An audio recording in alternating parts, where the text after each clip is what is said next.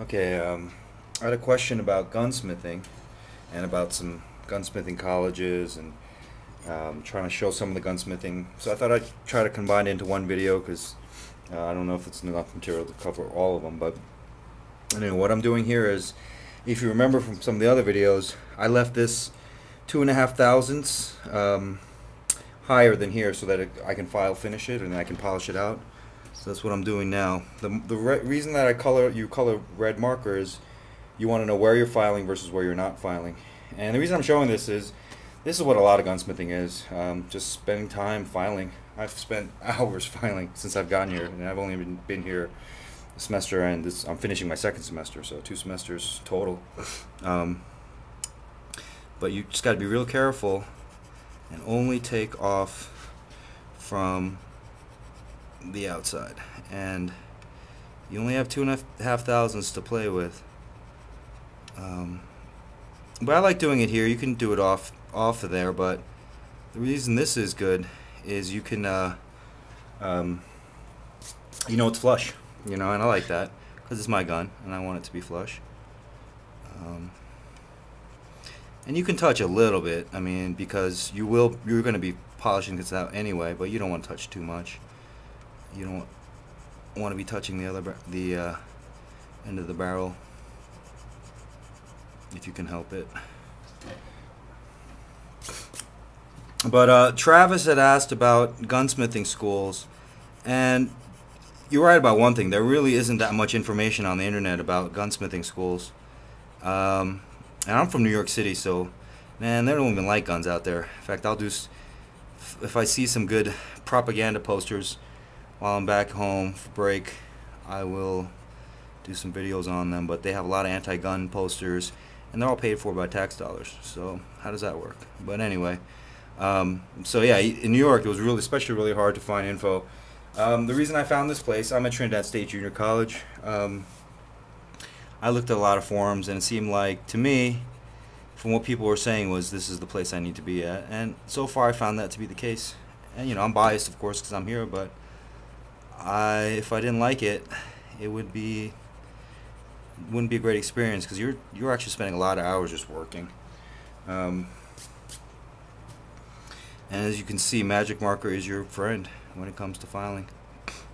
Um, and you know this is slow, but you don't want to mess up right here, so you take your time, take a little bit off at a time. I got one of my instructors said I'm. Sometimes he's like, dude, you don't have to do everything like you're going to NASA, but you know if you can make it look good. And no, don't get me wrong, he does excellent work, but he's just saying do it a little faster because if you want to make any money at it, hey, you got to do it quick. Um, but this is my first one, so I don't mind taking my time. Uh, but anyway, yeah, it was, it's hard finding information on schools. So I found this place. One of the things I looked for, uh, actually a couple things I looked for. One of the things I looked for was do they teach you machining skills? Because if they don't teach you machining skills, you have to buy all the parts. And for this gun, um, I mean, I, I mean, you get to make the barrel, which you don't make the barrel. You this is actually a Douglas target barrel, rifle barrel, and three of us split it and we cut it into three pieces, and so that's what this is. So this is a uh, this is actually a, a, match match grade barrel, I guess. It's a it's a nice barrel. It's a target barrel. The underlug um, was just some scrap um, square stock that we uh, square stock we had downstairs in the tool room, and you you cut that out. You put the radius in. So yeah, I mean those are two things you could have um, you had, you'd have to buy pre-bought, I guess, if you didn't know how to machine it. The top, I guess we, we could have machined it, but I guess just in time constraint wise, it was hard enough just getting this stuff done in time. But anyway, yeah. So, and in, in order to get to that point, and I'm only a second semester, so there's guys who have a lot more experience than I do. But um, you know, you make a bunch of tools. Let me just pull some out here. Um, you saw, I already saw the lapping tool that I made. Um, you got a bunch of mandrels. Like you, you got these things. Um, this was done on a machine on a lathe on this part, and this was cut out with a mill, which I still have to kind of clean it up, but it'll work. It's a functioning tool. And this is for, for next semester stock making. So I guess cut out some of the wood. Made a tapping center. And this was one piece of bar stock, another piece of bar stock that slides inside. It's two pieces. So there, this is all done on the lathe. Um, this, this is a tool, obviously. Uh, but yeah, I mean that, that's one of the things I look for was is it is it going to teach me machining skills? And another thing I look for too, which which kind of helped, I guess, um, is uh, some schools are, N- are affiliated with NRA summer programs, and this school is as well. So I figured, well, the NRA, they would probably only pick schools where they'd have the right equipment or whatnot. So those are the two things that I looked at. Um, but like I said, I really like it here, and, and I think this year at the Shot Show they're gonna have a display. So if, if you are gonna be at the Shot Show, um, you can go check us out. They have some of the students work up work up. But I've um, I've heard good things about this school versus other schools, and I don't know what else to tell you. Um, in terms of Lassen specifically, I did look at Lassen, and they did have a uh, they did have a um, machine program, and you know they did seem like they did teach machining. However, for me, and it sucks because my brother lives in California, but um, for me, what tilted it to here was California has really strict gun laws or has some restrictive gun laws. So even though the school might be cool with it, um, there might be certain things that I'd want to learn or make, and uh, just didn't, you know, didn't have a, wouldn't have the opportunity to do so. That's another reason why I didn't pick Lassen, because if I'm gonna go, you know, uproot myself from New York City, I'm gonna go somewhere where you can do anything you want, or, you know, pretty much to the limits of what you can learn in gunsmithing, which is, I feel like I can do that here. Um, and also the instructors here are great, you can, you guys can look that up. Um, so you know, I'm not trying to steer you to you know this isn't a commercial for Trinidad State Junior College because I'm a student and I don't get anything for it, but I like it here. Um, anyway, I you know I hope that was helpful, but you know there's a couple different factors. Um, and Colorado's as far as gun laws go, it's pretty good. At least I found that to be the case.